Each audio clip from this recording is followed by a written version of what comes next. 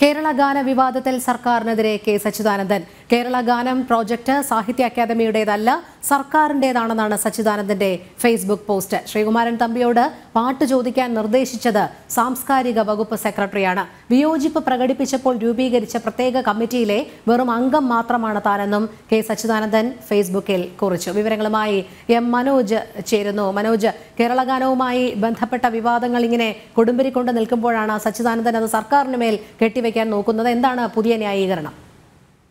രോഹിണി ഇപ്പോൾ സർക്കാരിനെതിരെ ഒരു വിമർശനവുമായാണ് ഈ സച്ചിദാനന്ദന്റെ ഫേസ്ബുക്ക് പോസ്റ്റ് വന്നിട്ടുള്ളത്. ഇതിൽ തന്നെ ശ്രീകുമാരൻ തമ്പിയോട് പാട്ട് ചോദിക്കാൻ സാഹിത്യ അക്കാദമി സെക്രട്ടറിയോട് നിർദ്ദേശിച്ചത് സാംസ്കാരിക വകുപ്പ് സെക്രട്ടറിയാണ് എന്നുള്ള കാര്യമാണ് ഇതിൽ വ്യക്തമാക്കുന്നത്. അതിൽ തന്നെ പറയുന്നുണ്ട് ഗ്യാരണ്ടി കൂടാതെ ആവശ്യപ്പെട്ടു എന്നുള്ള കാര്യം.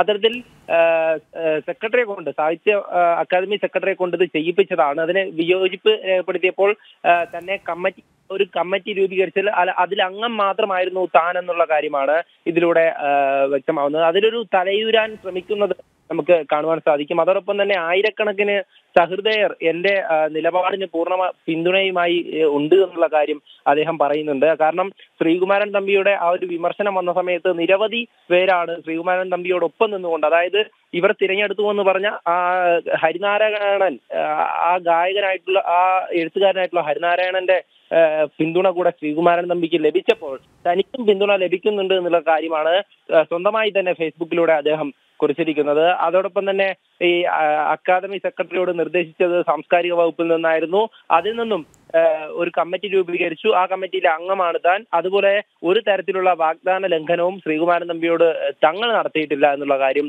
ഇതിൽ പറയുന്നുണ്ട്. ആ പാട്ട് പറ്റില്ലെന്ന് കണ്ടെത്തിയത് ഈ സാംസ്കാരിക വകുപ്പിന്റെ നേതൃത്വത്തിലുള്ള ആ കമ്മിറ്റിയാണ് കണ്ടെത്തിയത്. വസ്തുനിഷ്ഠ കാരണങ്ങളാൽ തമ്പിയുടെ ഗാനം അംഗീകാര യോഗ്യമായി കരുതിയില്ല എന്നുള്ള കാര്യമാണ് ഇദ്ദേഹം പറയുന്നത്. അതിൽ തന്നെ അന്തിമ തീരുമാനം എടുക്കേണ്ടത് സർക്കാർ കമ്മിറ്റിയാണ്.